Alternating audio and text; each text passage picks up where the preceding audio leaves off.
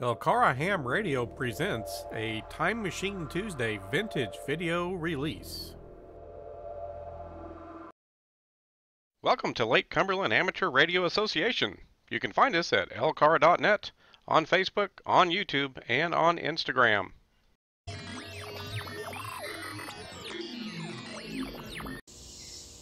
This is KY4 BDP Brian. Well, my next project is the GP3 2 meter 70 centimeter dual band antenna. The GP3 is about 5 feet 11 inches. I'm going to install it here on the back of my deck. I've been needing a better 2 meter antenna.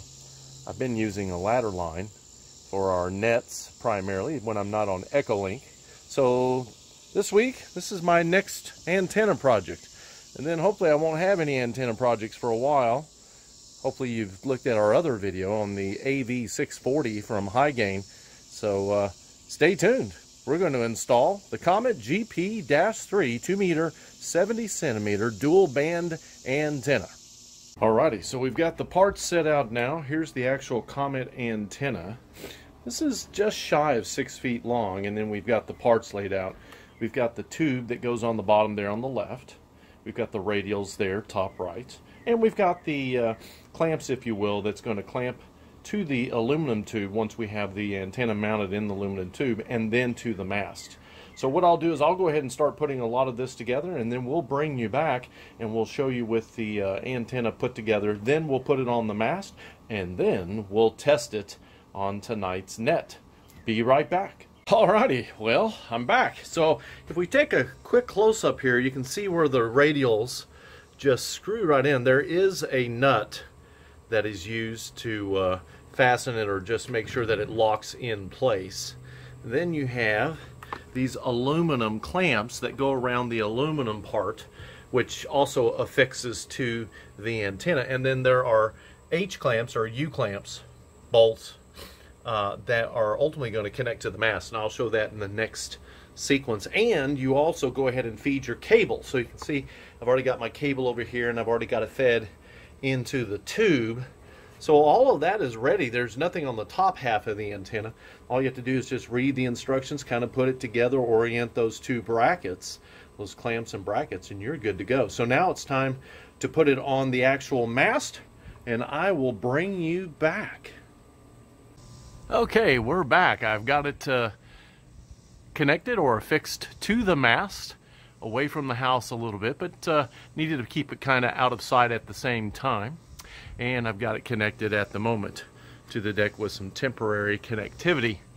And definitely can, uh, temporary. I thought I had what I needed from my favorite home improvement store, but I did not. So I'm going to use a temporary setup to keep the pole affixed to the railing for now. And this will give me enough of an opportunity to test the connectivity at tonight's net.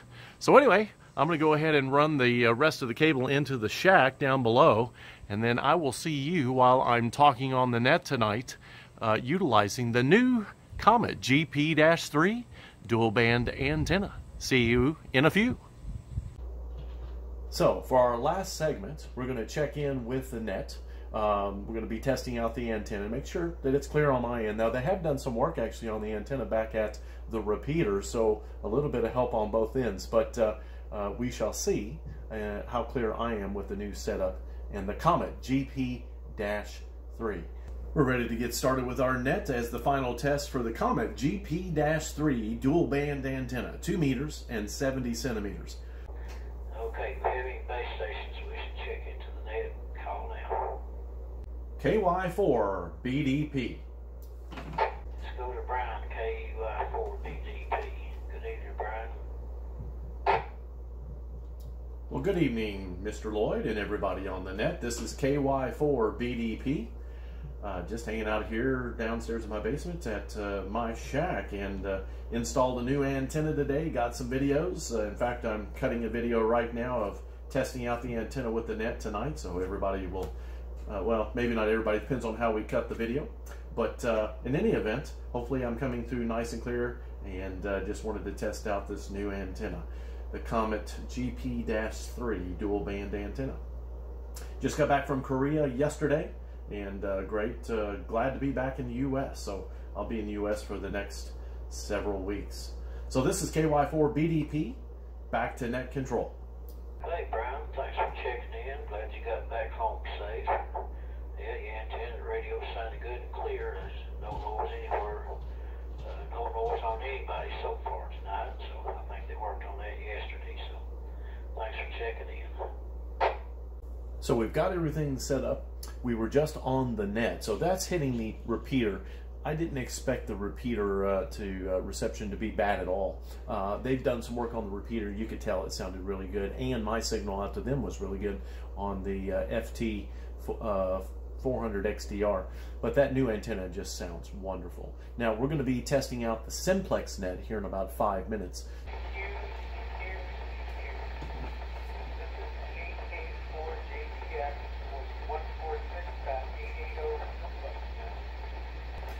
Simplex nets are more difficult because the repeater is actually taken out of this net so that it's just us talking to one another without any of the tones or any uh, uh, offsets. So with Simplex, normally I would have to be relayed in based on where I'm located and where net control Ben is located. Uh, but tonight I can actually hear him pretty well. A little scratchy, but not bad at all. I can definitely hear him. So when he puts out the call, I'll come back to him and let him know that I hear him much better tonight than in nights previous. Oh, and in some cases, I'll be able to put out and say that I hear him, but uh, sometimes uh, he wouldn't hear me. KY4 BDP. So I put out my call, but we'll see if Ben's able to hear me on his side.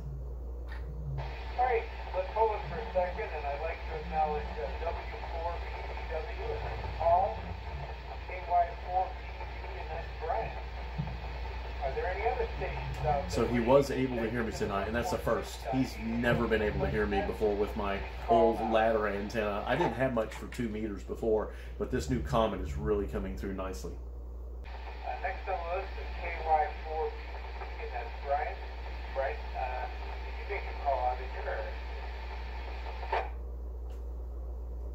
Roger Ben, KK4JPX. This is KY4BDP for the Lake Cumberland Amateur Radio Association's Simplex Net, where no repeater is in use at this time, and we are simply uh, sending out calls for anybody who can hear the sound of my voice. If you can hear the sound of my voice, but you're unable to hear net control, Ben, KK4JPX, please call now.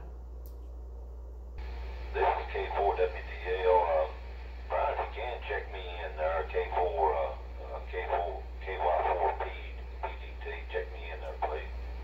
K4WDL. Roger K4WDL. Ben, we have one uh, to uh, relay into net tonight. K4WDL is able to hear me but unable to hear you. So one to relay at this time, no others called out. I'll turn it back over to net control. This is KY4 BDP.